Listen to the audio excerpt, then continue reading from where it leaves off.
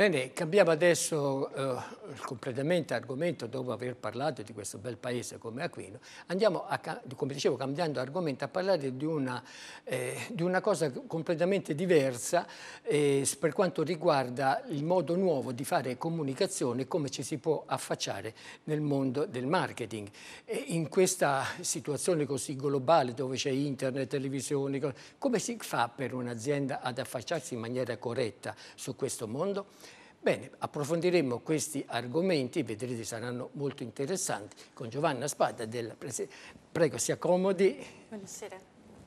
Allora, dicevamo dell'azienda, eh, della, dell della situazione insomma, che stiamo creando per poter affrontare in maniera corretta una comunicazione eh, sul, eh, sul, pubblico, sul marketing, su tutti questi tipi di cose. Lei della Visual Studio Marketing, che cosa ci dice? Allora, per quanto riguarda la comunicazione, oggi è sicuramente una delle attività più importanti da tenere in considerazione è proprio l'attività del visual merchandising perché studia esattamente le varie discipline in termini di comunicazione. E quindi oggi un professionista deve soprattutto prepararsi non solo nel conoscere un linguaggio tecnico appunto legato nel come si comunica, poi bisogna capire esattamente eh, come si adopera il senso della comunicazione.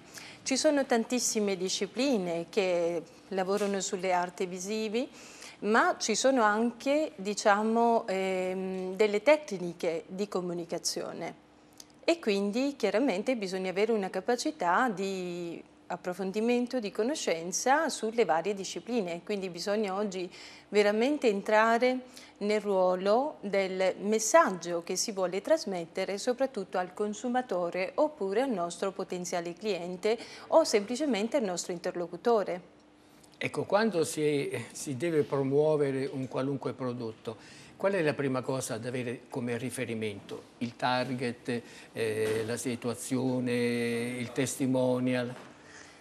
Tanti fattori perché tutto dipende dal senso che vogliamo comunicare. In realtà se io sono all'interno del punto vendita la prima cosa che bisogna tenere presente è proprio il layout di struttura, quindi parliamo di come il punto vendita si presenta. Poi bisogna individuare anche il tipo di target. L'errore che generalmente si fa è pensare che un prodotto sia sufficiente per attirare l'attenzione del mio potenziale cliente. In realtà non è così perché se parliamo di comunicazione quello che è importante è proprio la tecnica espositiva. Ecco perché io parlavo di eh, visual merchandising perché è il, mm, diciamo, la tecnica che più prepara ad un'attività verso il consumatore, verso un messaggio un po' più chiaro del prodotto. Ecco, quindi bisogna avere una tecnica tutta nuova insomma, rispetto al passato. Assolutamente sì. Eh, se una volta bastava vendere prodotti e quindi semplicemente far vedere quello che eh, avevamo, a disposizione all'interno dello spazio, oggi questo non è più sufficiente perché c'è una concorrenza spietata e quindi quello che dico sempre è avere una capacità di presentare questi prodotti attraverso appunto delle tecniche e quindi non dare per scontato che mm, una semplice esposizione possa semplicemente indurre il consumatore ad una scelta specifica di un prodotto. Tanto è vero che comunque ci sono i mezzi di pubblicità che aiutano la vendita del prodotto, ci sono le esposizioni tecniche che facilitano la vendita del prodotto, ci sono anche le esigenze dei consumatori che facilitano la vendita del prodotto, pertanto bisogna prendere in considerazione ogni mh, mm, situazione specifica, valutare esattamente che cosa sto vendendo, a chi lo sto vendendo e capire esattamente qual è l'obiettivo di questa vendita del prodotto. Se io devo vendere perché sono indirizzata semplicemente a, ad un fatturato, e allora chiaramente lì bisogna studiare una strategia specifica. Se invece voglio vendere perché voglio dare importanza alla qualità del prodotto, quindi bisogna studiare un altro modo di comunicare il senso di, della vendita del prodotto. Quindi bisogna entrare proprio sempre sulla specificità di ogni eh, settore, di ogni elemento e di ogni tipo di esigenza. Non si può generalizzare. Ecco, ma siete voi che indicate qual è la cosa migliore al produttore o il produttore viene già con una sua idea? No, generalmente un produttore ha sempre un'idea di impostazione, no? Quindi questo chiaramente... E riuscite a cambiargliela qualche volta? Eh, diciamo che sì, alle volte più che cambiare si deve semplicemente sistemare, perché cambiare, come dire, non funziona. In realtà ogni cosa, eh, se c'è un'idea di base, bisogna semplicemente aiutare l'azienda affinché questa idea sia ben sviluppata. Non si può arrivare in un'azienda e dire no, questa situazione non funziona.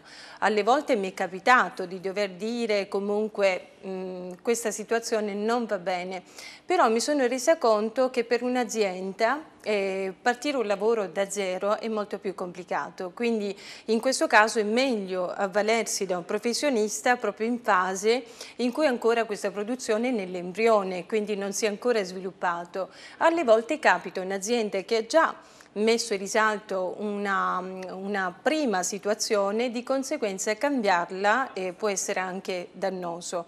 Quindi bisogna intervenire senza chiaramente esagerare nella, nelle difficoltà, ma cercare di aiutare l'azienda appunto a vendere, a promuoversi e a far emergere quello che è l'obiettivo. La cosa più importante è che non tutte le aziende hanno ben chiaro eh, come e cosa devono fare.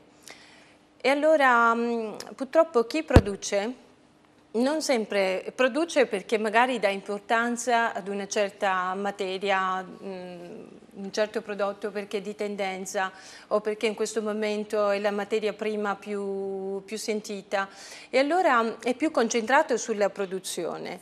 In realtà noi facciamo un'attività specifica che è quello di entrare nel cuore del consumatore, al di là del prodotto in sé. E quindi quello che è importante è fare in modo che l'azienda si sposta da una situazione personale, soggettiva, e va verso il mercato, quindi verso il consumo del prodotto. In questo caso noi interveniamo appunto per veicolare ed aiutare l'azienda nelle scelte più giuste. Ecco, visto che la Visual si occupa, è suddiviso, Visual Laboratorio, Visual Viral e Visual Service. Ecco, cominciamo dal laboratorio. Che cosa intendete in questo senso? Allora, noi offriamo un servizio oh, per quanto riguarda appunto gli allestimenti eh, delle attività commerciali, quindi chiaramente offriamo servizi di allestimenti quando parliamo appunto di restyling, eh, quindi la visualizzazione del prodotto si intende appunto eh, la capacità di intervenire all'interno di uno spazio e fare un lavoro vero e proprio di restyling. Un altro concetto potrebbe essere quello di un'attività di consulenza, quindi dove l'azienda può tranquillamente chiedere una consulenza o avere un'idea su un'impostazione di base secondo quello che già ha e quindi noi operiamo su diversi, diciamo, su queste due dinamiche di situazioni. Poi chiaramente lì subentra il ruolo di un professionista diciamo, che opera da dipendente presso un'azienda oppure la figura di freelance che oggi è una delle realtà più ricercate. Insomma. Quando parla di tecnica espositiva, eh, eh, nel suo piccolo, nel suo grande, non so come definirlo, si riferisce anche alle vetrine che devono avere i negozi? Sì, mi riferisco sia all'interno dei punti vendite sia alle vetrine. Tecnica espositiva si tratta soprattutto di posizionamento dei prodotti. E il posizionamento dei prodotti all'interno non è mai scontato, quindi viene studiato rispettando le linee, le forme, le proporzioni e di conseguenza si parla appunto di tecnica espositiva perché si adattano una serie di elementi che possono essere appunto geometrici eh, per appunto dare più immagine e forma ad una presentazione del prodotto. Ecco, ehm, oggi la comunicazione va su vari mezzi, no? oltre a quello televisivo, radiofonico, la carta stampata, soprattutto internet. Come, come si, ci si affaccia per un'azienda su questi quattro modi di, di comunicare?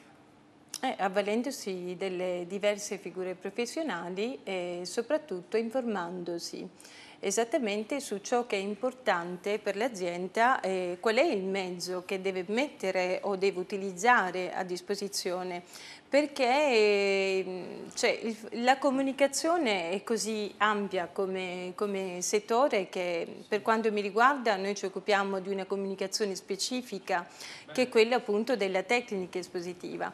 Le aziende ovviamente arrivano a noi nel momento in cui c'è difficoltà nella vendita di un prodotto all'interno di uno spazio e allora si affidano a noi, quindi nel modo specifico si avvalgono della nostra figura professionale.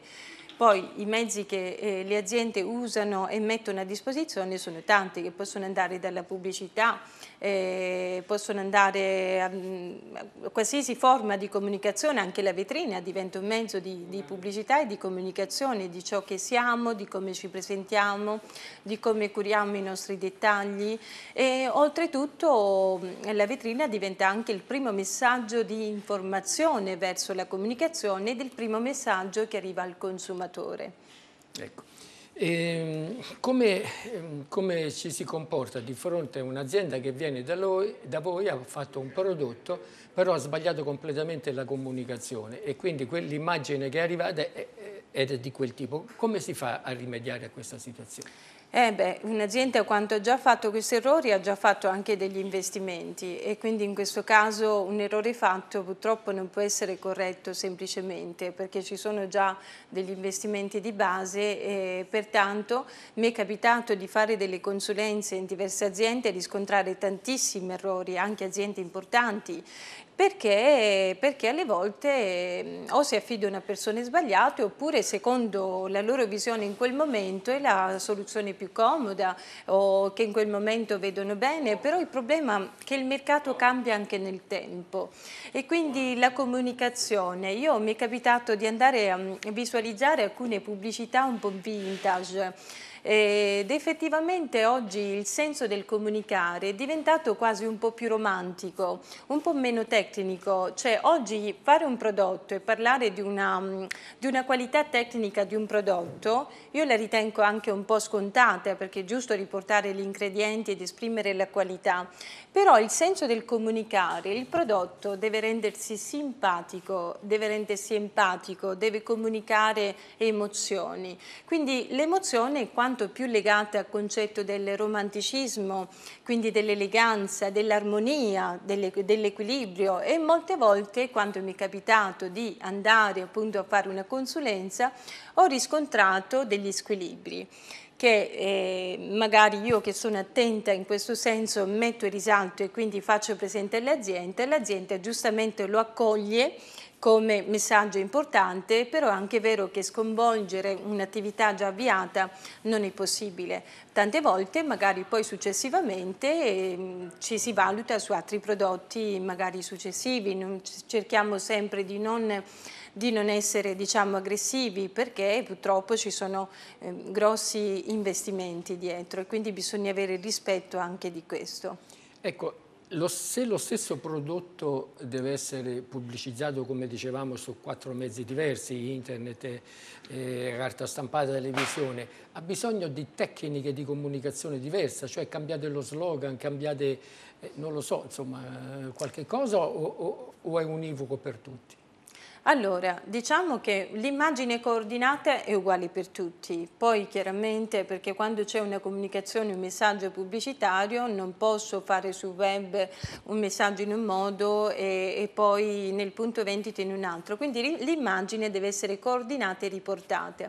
E il punto è studiare a priori il concetto del tipo di immagine adatta per ogni situazione perché non, cioè, non, possiamo fare tante forme di comunicazione, insomma parlare italiano e lingua italiana, parlare inglese parlare inglese e così via. Quindi dobbiamo cercare di essere più chiari possibili, più uniformi, però usare un linguaggio di lettura semplice e che comunque susciti emozione. Ecco, se un prodotto è indirizzato a un target che va dai 14 ai 20 anni, secondo lei è, è da un punto di vista proprio scientifico, professionale eh, che fate voi, è giusto andare solo su un mezzo, per esempio solo su internet e non su altri mezzi che magari i ragazzi non seguono o comunque bisogna seguire la tradizione e fare una pianificazione uguale? No, per quanto riguarda allora, i canali di comunicazione e di pubblicità si utilizzano tutti perché oggi anche la persona più giovane sta al PC e quindi il ragazzo a sua volta si trova a farsi la passeggiata in un negozio quindi può avere eh, diciamo, l'interesse di acquistare qualsiasi tipo di prodotto. Quindi non, è, non farei una differenza di, di, pubblicità su dove farlo ma quanto lavorerei nella materia prima su come presentare questo prodotto per attirare un target giovane e quindi farei più un'impostazione diciamo, grafica di lettura, di utilizzo di font molto specifico e molto mirato. Quindi cercherei di lavorare più sulla materia del prodotto e non tanto sul senso di pubblicità a secondo di dove si fa. Quindi bisogna, in base al prodotto bisogna studiare se conviene fare una pianificazione generalizzata o mirata a un semplice target, magari ridurre eh, i mezzi di comunicazione. E allora, per quanto riguarda, sì, diciamo, più siamo chiari, più siamo efficienti. Io dico sempre che la semplicità è quella che paga. In fondo non dobbiamo essere sofisticati, complicati, dobbiamo cercare di vivere la nostra vita in modo semplice e soprattutto di innamorarci ancora di cose vere, di cose semplici e anche la scelta di un prodotto deve essere proprio ehm, l'essenzialità di ciò che stiamo comprando e non la sofisticatezza di questo packaging perché comunque dobbiamo dire anche una cosa, più il packaging è sofisticato più è anche vero che il prodotto costa. E allora non possiamo pretendere un prodotto di qualità qualità eh, e poi cioè, eh, se io voglio un prodotto di qualità, il packaging sofisticato è chiaro che eh, sul mercato avrà un costo, ma se io voglio un prodotto di qualità e mi accontento di un packaging più semplice, probabilmente trovo la qualità, d'altronde tutti questi packaging in fondo finiscono sempre dentro il cestino. E quindi dobbiamo cercare secondo me oggi di entrare non nell'era del consumismo, ma nell'era del volersi bene, del rispettare rispettarsi, perché anche il consumo deve essere rispettato. Ecco perché ci stiamo un po' allargando fin troppo con la comunicazione, con i, i disagi proprio che, che viviamo, perché ogni, ogni cosa comunque ha dei costi. Allora questi costi bisogna semplificarli e bisogna cercare di individuare esattamente su cosa vale la pena fare e come vale la pena fare. Quindi senza, senza andare oltre, insomma cerchiamo di essere più semplici. Ecco, ma la semplicità da questo punto di vista estremamente professionale è un punto di arrivo o un punto di partenza? Eh, dico sempre un punto di partenza innanzitutto perché più siamo semplici più arriviamo nel cuore di chiunque. Quindi cioè nel senso punto... la sanno fare tutti, eh, una comunicazione semplice? Eh, no, oggi sanno fare tutte, oggi lavorano molto su complicato, quindi con qualsiasi cosa, in realtà per uscire fuori dagli schemi quasi quasi ci sono più proposte complicate nell'area che, che poi in realtà quindi servono. è un punto di arrivo là. Eh, dipende appunto dal punto di vista eh, da un punto di vista professionale io lo vedo intanto parto sempre da un punto di partenza per me non esiste il concetto del punto di arrivo perché quando c'è uno scambio c'è un'interazione appunto professionale esiste solo un punto di partenza anzi vorrei che non arrivassimo mai alla conclusione proprio per dare continuità e quindi assistere sempre più eh, le aziende, le attività e un po' tutti. Ecco, per arrivare a questo punto di semplicità, che poi abbiamo visto un punto di arrivo, non, non è banalizzare, anzi è tutt'altro, eh, bisogna essere preparati. Ci sono dei corsi di formazione su questa direzione? Allora, sempre preparati, purtroppo oggi l'esigenza di mercato o siamo preparati o siamo fuori dal mercato e questa è una grande verità. Però dobbiamo cercare anche di capire come bisogna prepararsi, cioè oggi prepararsi cosa significa? Non tanto frequentare un corso, imparare a memoria oppure semplicemente acquisire dei titoli per dire siamo diventati, ma bisogna soprattutto formarsi nelle scuole specifiche, quindi a secondo di quello che si vuole fare. Nel nostro caso noi ad esempio formiamo professionisti per quanto riguarda proprio la tecnica espositiva dei prodotti, quindi sarebbe la figura che viene definita visual merchandiser che eh, opera nell'attività del visual merchandising, cioè si intende visualizzazione del prodotto. Cosa fa questa figura? Di fatto entra all'interno di uno spazio dove ci sono prodotti di ogni categoria commerciale, crea la giusta esposizione proprio per comunicare al potenziale consumatore il tipo di prodotto e quindi indirizzare il cliente verso una scelta. Ovviamente è un lavoro abbastanza complicato e bisogna studiare, ci sono anche tanti anni di studio per raggiungere un certo livello di professionalità. Molta attività pratica sicuramente aiuta. Aiuta. Allora, siamo, in chiusura volevo capire se noi in questo settore siamo un po' all'avanguardia o, o abbiamo un modello da seguire, non so, gli americani? In Europa come siamo da questo punto di vista della comunicazione allora, questa, sì, questa è una delle discipline soprattutto che è nata in America e in Italia siamo ancora molto indietro, infatti per questo bisogna eh, cercare di impegnarsi.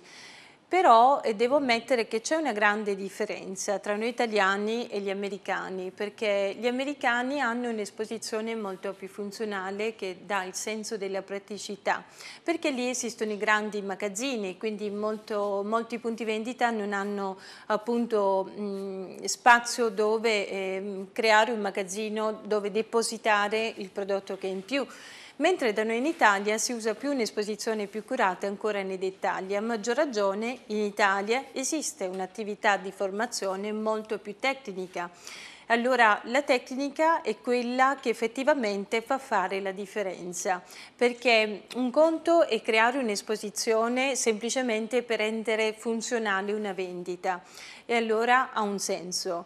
L'altro fattore importante è non solo rendere funzionale la vendita, ma rendere il prodotto ancora più appetibile, ancora più interessante, valorizzarlo. Noi italiani in questo siamo molto più bravi e molto più precisi, quindi dobbiamo dire grazie a queste possibilità che ancora oggi possiamo trovare, ma bisogna cercarle. È importante cercarle queste cose e una volta che si trovano si riscontrano perché si toccano con mano e si vedono con gli occhi, quindi sono cose talmente tangibili che non, non serve neanche parlare. Bene, possiamo finire quindi con queste parole di ottimismo, siamo fiduciosi per il futuro dal punto di vista della comunicazione marketing. Siamo molto fiduciosi per il futuro e io direi sempre di puntare sempre più sul concetto dell'immagine, ma di un'immagine semplice, elegante, che comunica con un messaggio chiaro. La ringrazio di aver accettato il nostro invito, diamo la linea adesso alla regia per la pubblicità. Grazie.